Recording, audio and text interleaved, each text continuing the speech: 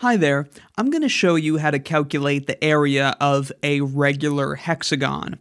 Remember, regular means that all of its sides have the same length.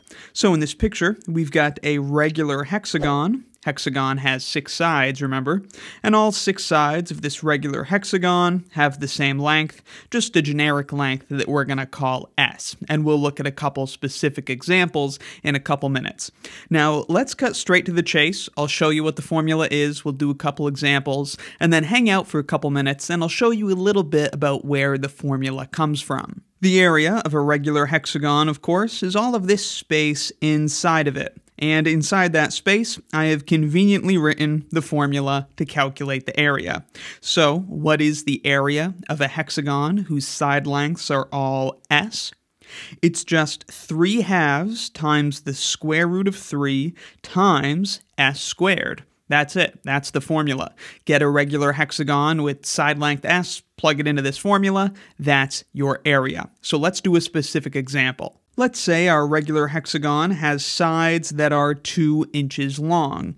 So then what is the area of the hexagon? We just have to plug our side length, 2 inches, into the regular hexagon area formula. So that's just 3 root 3 over 2, and then multiply by the side length squared. The side length is 2 inches, so we multiply by side length squared.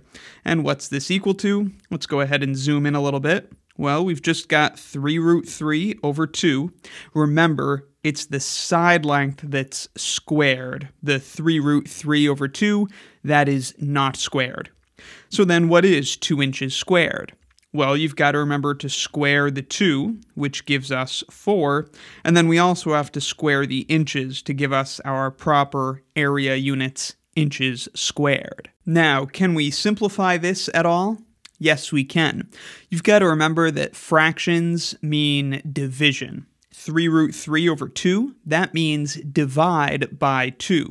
And division is the same as multiplication, right? This is the same as 1 half times 3 root 3 times 4 inches squared.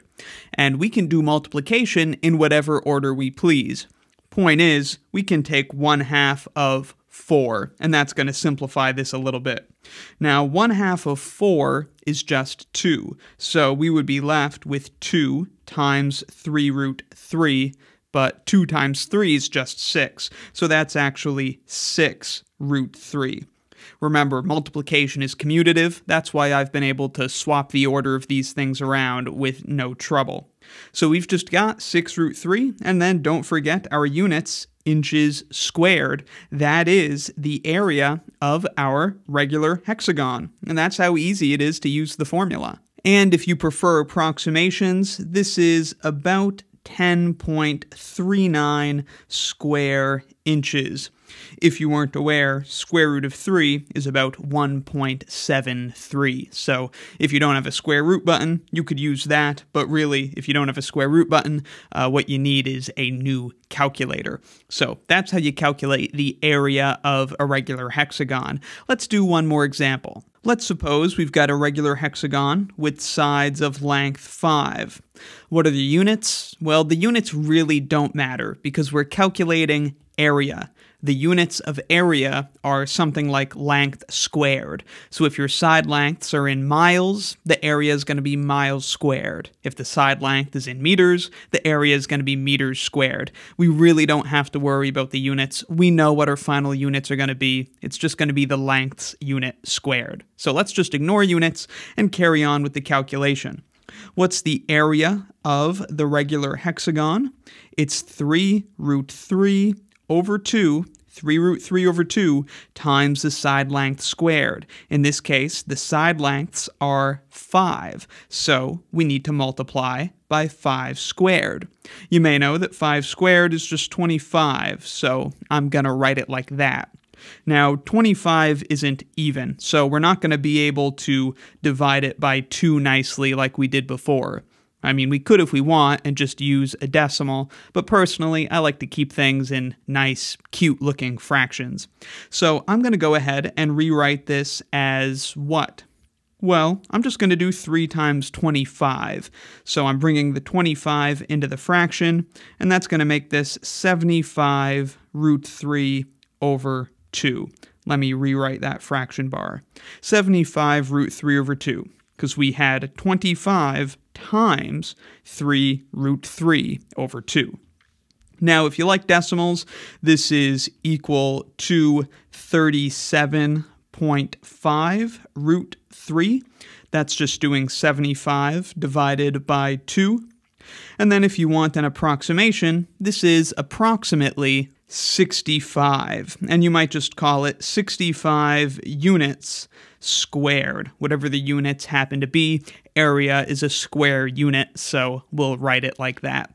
That's all there is to it. That's how you find the area of a regular hexagon. Now let's take a minute to see where this formula comes from, which really is the more interesting part. Here is our regular hexagon, and regular polygons like this have this cool property that we can draw a circle that circumscribes, that's what they call it, it circumscribes the polygon. That means this circle passes through every vertex of the regular hexagon. This is just a thing you can do with regular polygons that's pretty cool. Now, what I want you to imagine is that we've got this, what's called a circumcircle, passing through all vertices of the regular hexagon, imagine we draw the center of the circle. And of course, there are radiuses that go from the center to the circle. I know the plural of radius is radii, but now you know that too. I'm going to say radii. Radii. There are all sorts of radii of this circle going from the center to the circle, but let's draw the radii that go from the center to vertices of the hexagon. I'm going to go ahead and draw those. This is what it looks like if we draw the radii from the center of the circle to the vertices of the hexagon. And you might notice this splits the hexagon into six triangles.